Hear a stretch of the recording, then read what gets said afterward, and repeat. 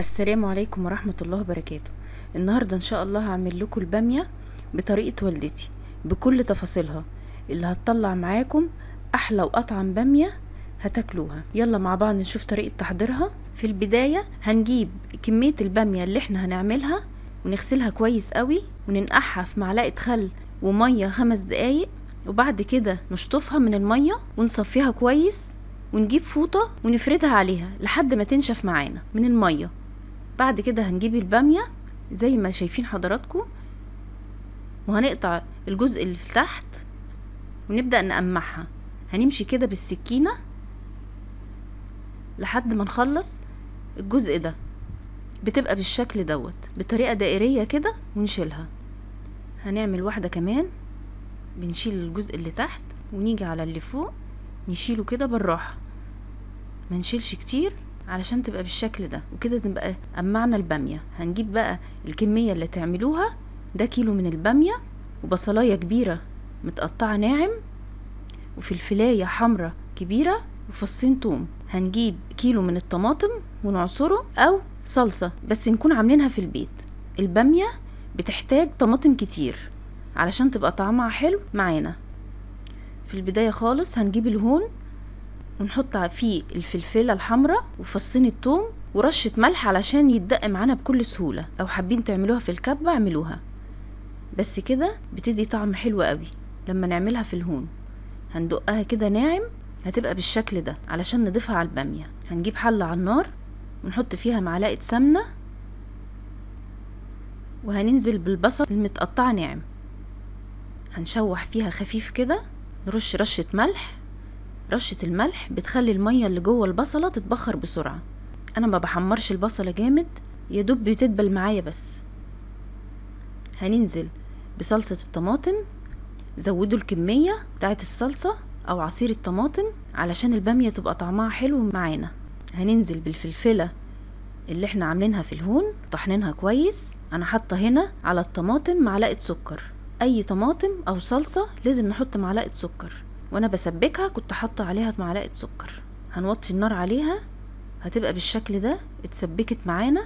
هناخد جزء من الصلصة دي في طبق معانا علشان البامية لما بنحطها في الصلصة الصلصة بتبقى لونها فاتح فدوت هنحطها في الآخر معانا. الحاجات دي والدتي هي اللي معلمها لي وبتعملها وأنا ماشية عليها من سنين كتير والحمد لله البامية بتطلع تحفة معانا. هننزل بقى بالبامية هنقلبها كويس. خدت غلوة اهي معانا. هننزل بنص معلقة صغيرة كمون ونص معلقة صغيرة فلفل اسود ونص معلقة صغيرة بابريكا. لو موجودة ماشي مش موجودة خلاص. هننزل بقى بالشوربة على البامية لحد ما تغطي معانا البامية علشان تستوي فيها. ما نكترش الشوربة قوي علشان البامية تبقى طعمها حلو. هنزود بس لحد ما تبقى معانا مغطية البامية علشان تستوي فيها. هنغطي بقى النار عليها ونوطي. اهي بقت بالشكل ده. أنا ما بحطش اللحمة في الأول. بسيبها الأول تستوي شوية مع نفسها. هحط الملح معلقتين صغيرين ملح وخدوا بالكم إن الشوربة بيبقى عليها ملح. بعد كده هننزل باللحمة. أنا بفضل إن البامية تتعمل باللحمة بيبقى طعمها حلو جدا.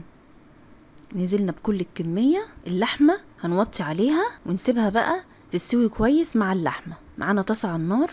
هنجيب فص توم ونهرسه كويس ناعم ومعلقة سمنة لحد ما يتبلوا معانا ويتحمروا. هنعمل البامية طشة بتخلي طعم البامية روعة.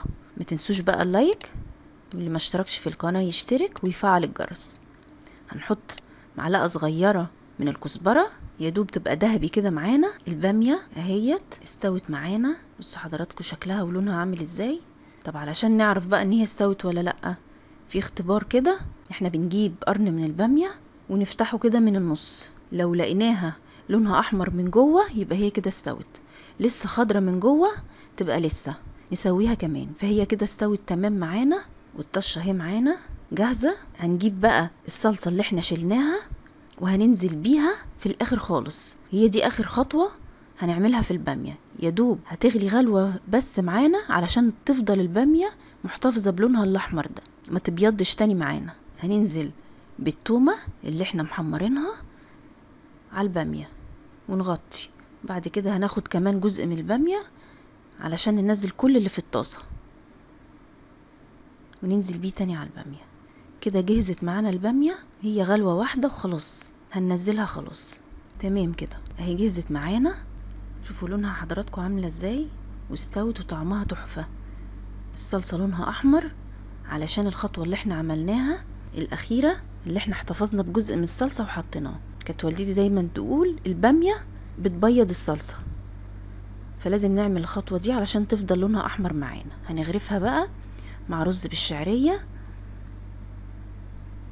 أو تاكلوها بالعيش وتكونوا مجهزين بتنجان مقلي وعليه دقة دقة الفلفل بتبقى طعمها تحفة. سلقت اللحمة مع حضراتكم قبل كده في فيديو جربوها بالطريقة دي حلوة جدا.